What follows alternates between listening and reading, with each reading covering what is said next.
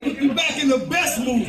You ain't knocked him out because he be damn to keep seeing you get stepped to by some nigga he socked out and stood over like a step to. If you think he didn't love you, he would have put up with all of this shit. Yo, Papoose. Yes, sir. That's how you talk to your bitch.